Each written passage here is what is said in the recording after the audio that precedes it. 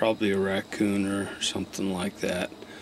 The chicken has not made a squawk, um, and it's roosting right there on my shelves, so it could possibly be the the chicken jumping off the shelves. It's and the chicken's probably gone, and I just didn't hear it. Uh, we'll find out in the morning. Uh, I set them up very carefully this time. Hopefully, we'll get something.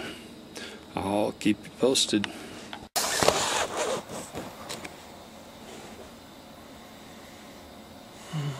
Okay. Wherever it is is back. It's 4.30 in the morning. Um, evidently those shelves are just a little too convenient for whatever it is to be jumping on and walking around on. So I guess I'm going to have to at night store them in the upward position. Because uh, it wakes me up whenever it is whatever it is chicken or whatever. Um, jumps on it and shakes the trailer. Uh, it didn't scare away very easy so because um, I banged on the side of the trailer and uh, it didn't run away. So it might be just the chickens running around. So, um, we'll find out in the morning. I'm going to go back to bed.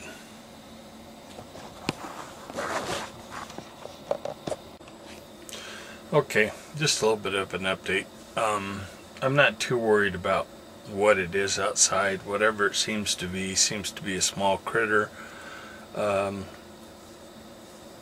and I heard it uh, hit the chain as it was walking down the um, steps or walking down the the shelves. Um, I'm not too worried about it right at the moment. It keeps waking me up. I have cameras out there, um, so you know we'll find out what it is in the morning. And if it's the stupid chicken, then I'll know that uh, I gotta fold the shelves up at night and. And here's our returning culprit. he uh, caught him dead handed there. Couldn't resist the hot dogs. Um, basically, I think what I'm going to have to do is fold up the shelves to keep the uh, critters from jumping up on him. And uh, I'm also going to install a window or a couple of windows in my trailer on the sides. I have some tempered hard glass that I'm going to use for the windows, which is much stronger than the uh, normal window pane glass. It's this glass is more like the windshield of a car, so it can take a blow pretty pretty good blow before it cracks and shatters.